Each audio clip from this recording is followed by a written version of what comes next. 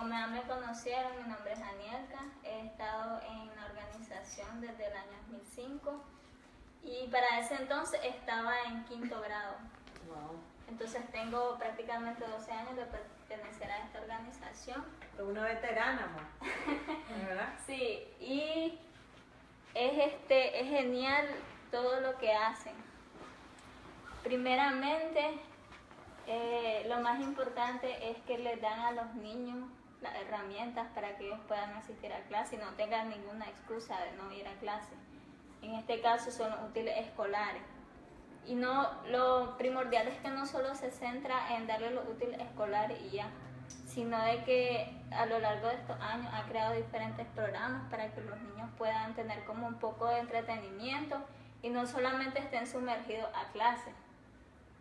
Varios de estos programas lo mencionaba Katy anteriormente y en lo personal he hecho muchas actividades dentro de esta organización. Estuve un año a cargo del programa de tutoría en donde me reunía cada semana con los muchachos, los cuales están en secundaria y son los mismos que le imparten clases a los niños, clases de reforzamiento, español y matemáticas. Entonces me reunía con ellos cada semana, hacíamos reuniones y el, programa, el problema que más existía era que algunos niños no llegaban, entonces la, la, labor de nosotros era irlos a buscar a sus casas y ver qué estaba pasando con ellos para que pudieran asistir. Tal vez porque en Nicaragua existe el problema de que los padres, algunos padres como no hicieron nada de su vida, como no fueron a la escuela, trabajan en zona franca, entonces les quieren inculcar eso mismo a los niños.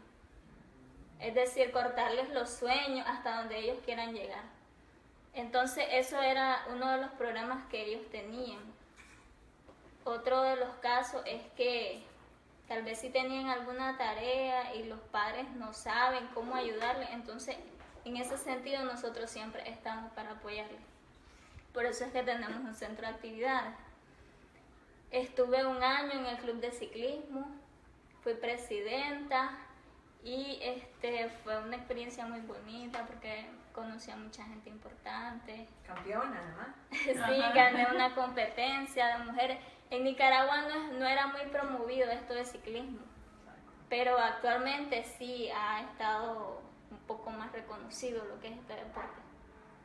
Hace cinco años estoy en el programa de fotografía y he jugado un papel muy importante porque lo que he aprendido con fotógrafos profesionales de aquí o de otros estados de, de Estados Unidos se lo he transmitido a los niños y actualmente estoy dando clases los días sábados a ellos.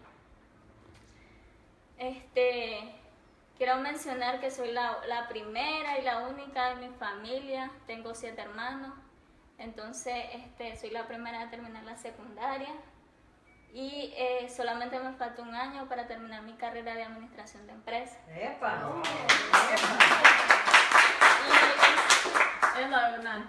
Sí.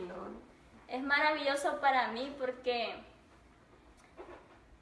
no solo en que soy la única de mi familia, sino de que sirvo de ejemplo para los mismos niños de la ONG, para darles aliento a que sigan adelante, porque como mencionaba anteriormente, algunos padres no lo aconsejan, no, les dan este ánimo para que ellos sigan adelante.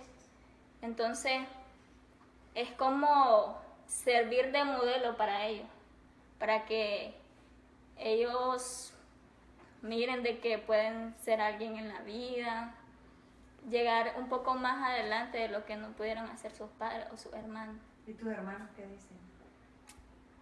Pues algunos me felicitan, me dan ánimo. En este caso es mi mamá la persona más importante. ¿Qué dice tu mamá? Este, ella siempre está aconsejándome y siempre me está apoyando, que no sea económicamente, pero siempre está conmigo. Eso. La más grande. Arriba. Entonces,